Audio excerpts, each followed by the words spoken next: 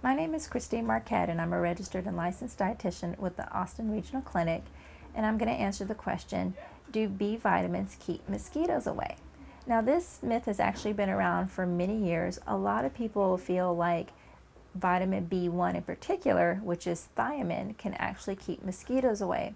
A lot of people have said that if they take a vitamin B1, again, a thiamine supplement, before going outside or before working in the yard that it actually prevents them from getting mosquito bites.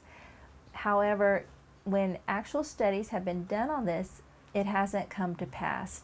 Whenever research has been done by the Canadian government and the United States government to actually test this, every time it showed that there was no decrease in mosquito bites. And other people that have tried it themselves have also said that they didn't notice any decrease in mosquito bites. So in people that have tried it that feel like it does decrease their mosquito bites, it may be coincidence, it may be something in their body where perhaps they were actually deficient for some reason in that particular vitamin and for whatever reason it may have increased their immunity to the mosquitoes. But again, there isn't actually any scientific evidence, any of the studies that have been done on it haven't actually proved that it truly does work. So your best bet is not to rely on thiamine to prevent mosquito bites. Your best bet if you are a person who suffers from frequent mosquito bites is to use some type of insect repellent.